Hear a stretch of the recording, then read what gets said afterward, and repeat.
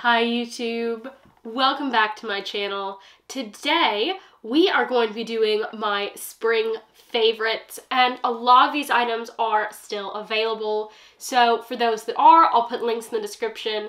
If they aren't available, I will try to find similar ones for you. So first up, I am a big lover of hats. One of my wish list items, my Gucci baseball cap, is definitely I think my most compliment item this spring.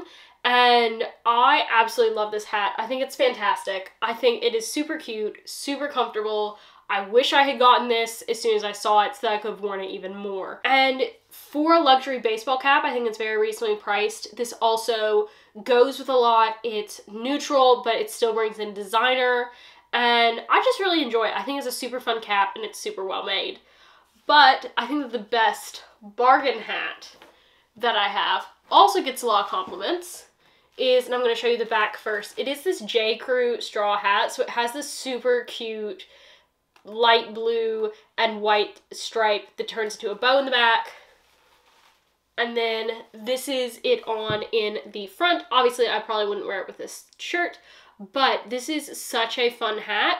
And immediately, like, I get people complimenting me on this. This one came from J. Crew Factory. It was on sale for like 30 bucks, and I had a $5 reward, so got it for 25 bucks. This is definitely a hat that is worth getting. And the thing that I like about it is that because it's neither navy nor black, I feel very comfortable wearing it with both navy things, tan things, black things, because I have like this thing of I don't like to mix navies and blacks. I really, really don't. And so I was very torn between getting a straw hat with a navy band or getting one with a black band. And I saw this one and I thought, yes, this is the way to go. So I will definitely link this one, assuming that it's still available from J. Crew Factory. Now, one final accessory I would normally like pull a pair of sunglasses or something like that, but I've been changing so many different pairs of sunglasses lately that I think the most consistently used item is this sleep cap from Lily Silk.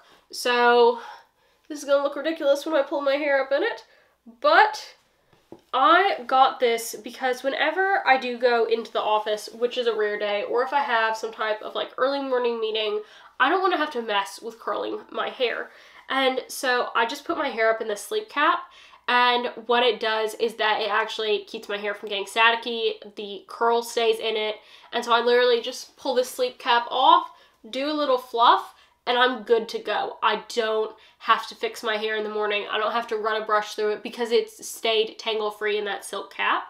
And so if you're someone who has a really busy lifestyle, I highly recommend that sleep cap because I think that will help shorten your morning routine a lot. Now, for my most used bag, that goes to my new baby. Who I have decided to name Sophie because she just feels like a Sophie to me. So this bag is no longer available, this specific colorway, which is the navy with the cream and tan. And I love this colorway. I was wanting a navy and tan bag, and as soon as I saw this from Strathberry, I knew there was a bag that was going to get added to my collection at some point. Waited for it to go on sale and got it. They have a version out right now that is this tan color, but it's tan all over with just the cream on the sides. This is also super beautiful, and they constantly are coming out with different color combinations in this bag every season, as well as having a lot of neutrals and solid colors.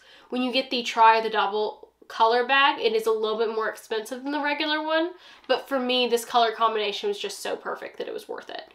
And a lot of the bags they're going to have coming out in their next collection launch are going to be stunningly beautiful. There are a lot of gorgeous greens, tans, and grays that are going to be coming. Now, next up is going to be shoes. And I love shoes. I have so much fun wearing different colors of shoes. But the pairs that I've actually really gravitated towards, because we've been having a cooler spring and one where I don't want to wear boots anymore, but I still need a closed-toed shoe, it is these Cole Haan silver metallic loafers. And I actually got these from the Cole Haan outlet for like 30 bucks, but they do have similar styles all the time. And so you can check out the outlet, you can check online. I'll look to see if they have any similar styles out right now. But this is a very, very comfortable loafer, particularly if you're like me and have a little bit of a narrower foot.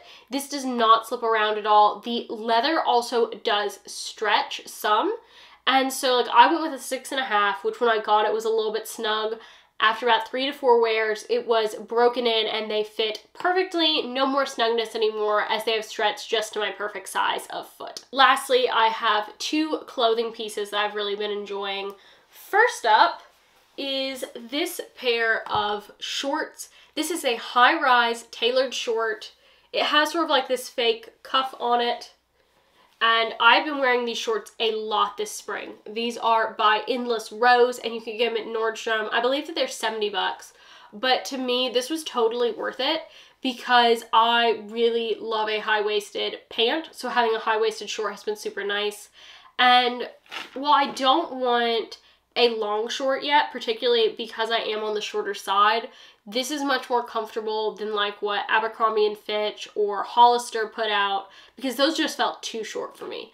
So while I wouldn't be wearing these to work or anything like that, these are a super nice casual short and they are very, very comfortable and very well made. And they have real pockets that my phone can actually go in in the front and in the back of the shorts. Now, the last piece that I didn't even realize how much I had worn it until I happened to be scrolling through, seeing videos, making sure that I answered all these different comments, and I noticed that my thumbnail was like very, very similar in a lot of these photos, even though I had filmed them on different days.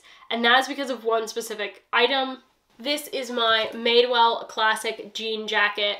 Again, I mentioned that we've been having a cooler spring where I live, and so a jacket was very much a necessity to avoid having to wear a coat of any kind because once it hits April, I don't want to wear a coat anymore. Really, once it hits March, I I'm over the coats. I'm ready for spring.